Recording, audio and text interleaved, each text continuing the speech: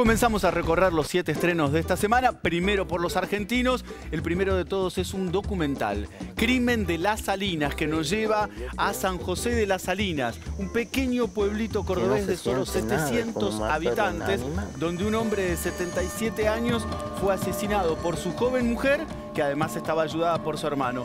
En 60 minutos, el documental de Lucas Di Stefano presenta el lugar, los hechos a través de testimonios, comentarios, chismes, ¿por qué no?, prejuicios que arribaron a esa cadena perpetua para los dos asesinos. Historias breves 14, coordinado como desde un principio por Bebe Camín, llega a su decimocuarta edición esta usina de creatividad y talento de nuevos directores argentinos, conformado por cortometrajes, surgido de un concurso este año. En el concurso se presentaron 530 proyectos, de los cuales se seleccionaron 14 y 7 conforman esta Historias Breves 14, donde uno puede ver 7 proyectos de nuevos directores argentinos personalmente me gustó mucho el último, que se llama Las hormigas de Mariana Weinstein.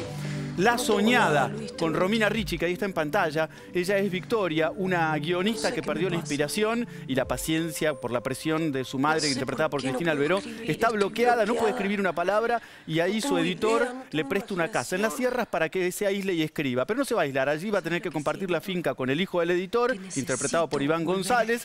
Además, un escritor, un actor egocéntrico, engreído, insoportable. Y por Eva, interpretada por Bárbara Lombardo. Allí se va a sumar un chamán, escenas sensuales y un guion tan trabado como el de su protagonista, no me gustó. Los ganadores. Néstor Frenkel bucea en el mundo de los premios y los premiados, pero no de los premios conocidos y convocantes, sino de pequeños premios que se entregan en clubes de barrio, en sociedades de fomento, en pequeños lugares. Orgullosos ganadores de premios como el Estampas de Buenos Aires, por ejemplo, que viene con un reloj además, o con el Antena VIP.